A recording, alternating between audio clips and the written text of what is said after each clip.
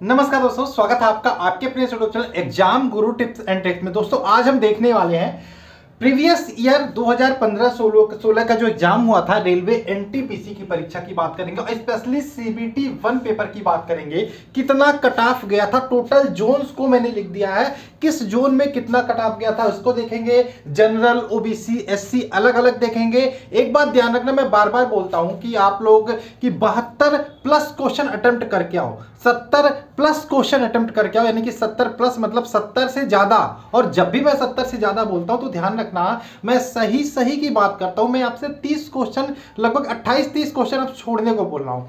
अब आप यहाँ पे अगर जो एनालाइज करेंगे तो बहुत सारी चीज़ें आपको इसमें देखने को मिलेगी। आपको एक, दो जोन का ऐसा कट आप देखने को मिलेगा, जो 80 प्लस जा रहा है। और 80 प्लस जो जा रहा है ना, वो नॉर्मलाइजेशन स्कोर है, ना कि नंबर ऑफ़ क्वेश्चन कितना आपने सही किया। अब ज़रूरी नहीं कि ये जो 80 कट ऑफ़ जा रहा है, ये 80 जो बच्चा पार कर रहा है, वो हो सकता है 70 क्वेश्चन अटेम्प्ट करके आया हो सकता है पैंसठ क्वेश्चन अटेम्प्ट करके आया क्योंकि नॉर्मलाइजेशन का खाका ही कुछ ऐसा है। अगर जो मैं आपको समझाने बैठ जाऊँ तो उसमें तीन चार मिनट वेस्ट हो जाएँगे। खैर, मैं उसके बारे में बात नहीं करूँगा।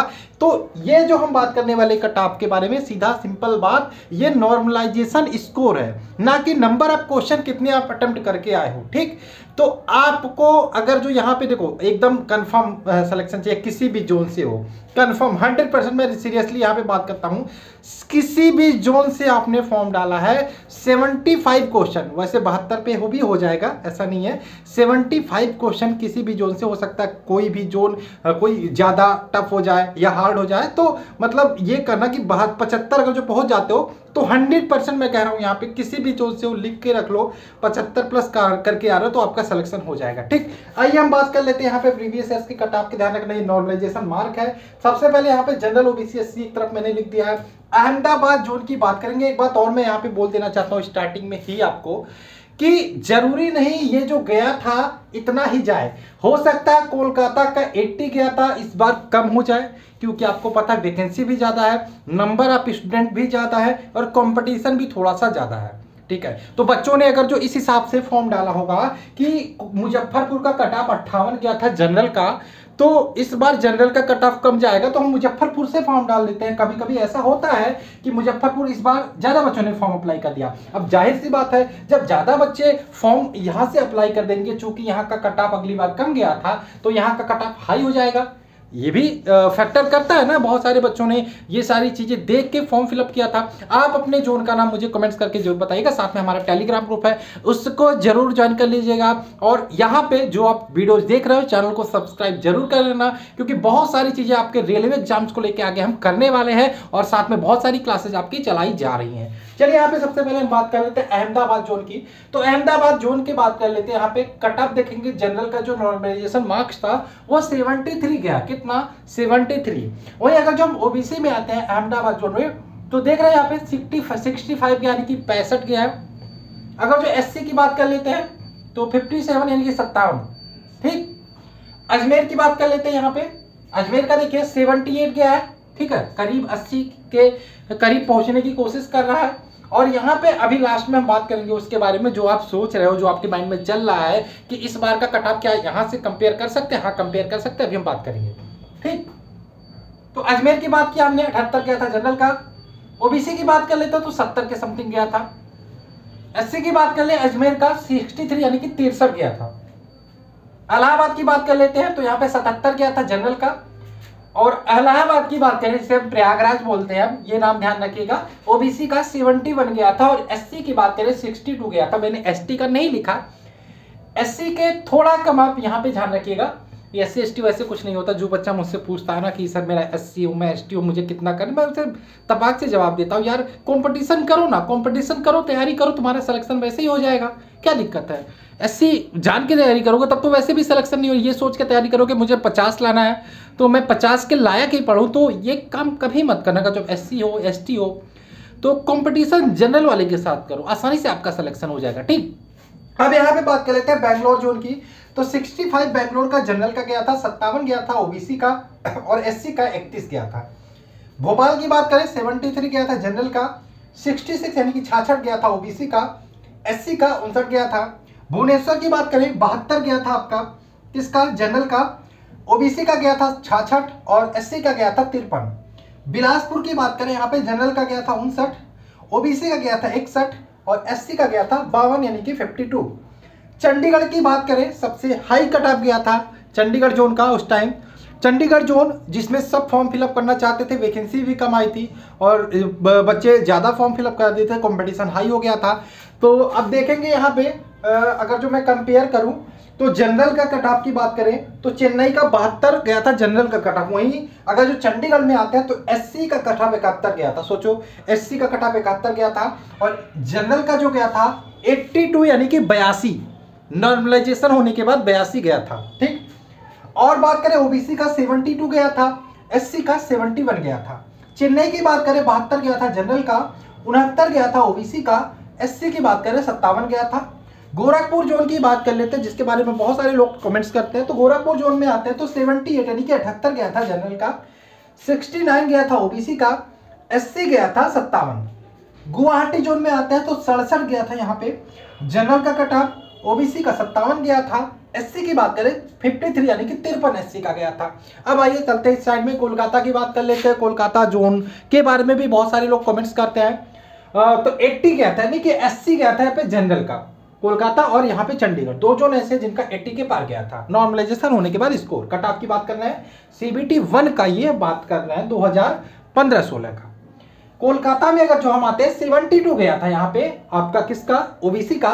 और 66 सेवन यानी कि सड़सठ गया था आपका एससी का। अगर जो मालदा जोन में आते हैं, बासठ गया था आपका जनरल का, उनचास गया था ओबीसी का फोर्टी थ्री गया था किसका? फोर्टी थ्री गया था एससी का।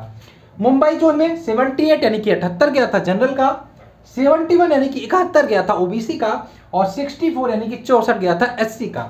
और यहाँ पे आते हैं, मुजफ्फरपुर की बात करें, सबसे लोवेस्ट कट ऑफ़ यहाँ का देखने को मिला था, अट्ठावन। सिर्फ़ अट्ठावन पचास और आठ अट्ठावन गया था नॉर्मलाइजेशन स्कोर ये गया था जनरल का। इस बार भी हो सकता है किसी भी जोन का हिस्सा जा सकता है, ठीक है? क्योंकि फॉर्म भरने में इधर उधर हो जाता है, किसी किसी जोन से ब्रॉड बहुत ज़्यादा स्टूडेंट चले जाते हैं, किसी जोन में बहुत पता नहीं चलता ना किस जोन में बच्चे जा रहे हैं। तो ये रीजन इसलिए निकल के आता है। फोर्टी गया था यहाँ पे ओबीसी का, तीस गया था यहाँ पे एससी का। जम्मू की बात कर ले वैसे तो जम्मू में पहले बच्चे फॉर्म ही नहीं डालते थे। अब सब बच्चे जागरूक हो गए हैं। जम्मू भी जाना पसंद करते हैं, जम्मू में भी फॉर्म फिलअप हुए हैं। लेकिन फिर भी जम्मू का मुझे लगता है कट ऑफ़ कम ही रहेगा, सत्तर के आसपास रहेगा। जम्मू का उनहत्तर गया था जनरल का, इक्यावन गया था ओबीसी का, और बावन गया था आपका एससी का। पटना में आते हैं, बिहार बोर्ड में, इस बार पटना का थोड़ा हाई जा सकता है। तिरसठ गया था जनरल का, चौवन गया था ओबीसी का, उनहत्तर गया था आपका एससी का। रांची जोन में आते हैं तो चौसठ गया था जनरल का, अट्ठावन गया था आपका ओबीसी का फोर्टी सिक्स गया था एससी का। सिकंदराबाद जोन की बात करें तो सेवनटी एट गया था जनरल का सेवनटी थ्री गया था आपका ओबीसी का सिक्सटी फोर गया था एससी का और सिलीगुड़ी जोन की बात करें सिक्सटी एट गया था जनरल का, सत्तावन गया था ओबीसी का और एससी की बात करें, पचपन गया था। अब यहाँ पे आपके मन में जो क्वेश्चन उठ रहा होगा उसके बारे में हम थोड़ा सा बात करना चाहते हैं। आप ये सोच रहे होंगे कि ये जो कट ऑफ़ है, क्या ऐसा ही जाने वाला है? मैं कहूँगा नहीं। ऐसा नहीं है कि अहमदाबाद का 73 गया था तो इस बार 75 भी हो सकता है। 75 भी हो सकता है 70 भी जा सकता है, गिर भी सकता है। वो डिपेंड करता है कितने नंबर कितने स्टूडेंट ने कहाँ पे किस जोन में फॉर्म फिलअप किया है। तो इलाहाबाद में मुझे लगता है इस बार जो कट ऑफ़ हाई जा सकता है, मैं एक बार बात कर लेता हूँ। कट ऑफ़ इस बार जो हाई जा सकता है, वो इलाहाबाद जोन का हाई जा सकता है, अहमदाबाद जोन का हाई जा सकता है। साथ में चंडीगढ़ के बारे में बात करते हैं तो चंडीगढ़ भी जोन भी हाई जा सकता है, गोरखपुर जोन भी हाई जा सकता है। ठीक? जो लोवेस्ट कट ऑफ़ वाले रहने वाले हैं, सिकंदराबाद हो सकता है, इस बार की बारे में मैं बात करूँ, सिकंदराबाद। सिलीगुड़ी भी लोवेस्ट कट ऑफ़ रह सकता है फिर से। और मुजफ्फरपुर की बात करें, यहाँ का कट ऑफ़ थोड़ा सा मतलब मॉडरेट रहेगा, ज़्यादा नहीं जाएगा, ये अट्ठावन है, ये सिक्सटी फाइव के समथिंग पहुँचने वाला है। सिक्सटी फाइव मतलब सत्तर के समथिंग मान के चलो, सत्तर सत्तर सत्तर वैसे तो नॉर्मल है नॉर्मलाइजेशन स्कोर की बात करें, ठीक? मुंबई की बात करें, मुंबई का कट ऑफ़ भी इस बार थोड़ा सा लो हो सकता है, मुझे लगता है जहाँ तक। मालदा का कट ऑफ़ की बात करें, ये पैंसठ प्लस हो सकता है, जो बासठ बासठ था, ठीक है? कोलकाता का भी सेवेंटी सेवन एट के आसपास इस बार रह सकता है। तो ये था टोटल कट ऑफ़ मैंने बताया प्रीवियस ईयर्स का, और ये भी मैंने थोड़ा सा डिस्कस करने की कोशिश की अपने एक्सपीरियंस के आधार पर कि कितना कट ऑफ़ हो सकता है। अगर जो आपको कट ऑफ़ पे स्पेशली वीडियो चाहिए, इस बार का कट ऑफ़ के जोन का कितना जाएगा तो जल्दी से वीडियो को शेयर कर दो। अगर जो आप जल्दी से इस वीडियो को, इस वीडियो पर दस हज़ार लाइक कर देते हैं लाइक की बात कर रहा हूँ शेयर करोगे, तभी होगा। तो मैं जल्दी से आपके लिए कट ऑफ़ का वीडियो लेके आऊँगा जोन वाइज इस बार कितना जा सकता है। ये तो प्रीवियसली था। और मैंने बताने की कोशिश की कितना गया था, कितना नहीं गया था। आप थोड़ा सा अंदाज़ा लगा देना कि कितना इस बार जा सकता है थोड़ा सा इधर उधर करके। कुल मिला के एक बात हमेशा ध्यान रखना, टारगेट बना के चलो। सत्तर की बात मैं नहीं करता, सत्तर प्लस। और सत्तर प्लस जब भी बोलता हूँ सही सही क्वेश्चन आप इतना करके आओ, आपका सिलेक्शन हो जाएगा। आप किसी भी जोन से बिलोंग करते हो सिलेक्शन की बात नहीं कर रहा हूँ। सीबीटी वन क्लियर हो जाएगा, ठीक है? क्योंकि ट्वेंटी गुना, यानी कि सात लाख बच्चे यहाँ पे पास होने वाले हैं। तो आपका नंबर आ सकता है। मेहनत करो, पढ़ाई करो, बाकी कहीं पे भी कोई डाउट हो कमेंट्स कर सकते हो। इंस्टाग्राम पे फॉलो करो लिंक आपको डिस्क्रिप्शन में मिल जाएगा। वहाँ पर भी मैसेज कर सकते हो, साथ में टेलीग्राम को मस्ट आपके लिए ज्वाइन करना, क्योंकि उसी में सारे पीडीएफ और वीडियोज़ के लिंक आपको मिलती रहती चलिए मिलते रहे वीडियो में। जय हिंद दोस्तों, जय भारत।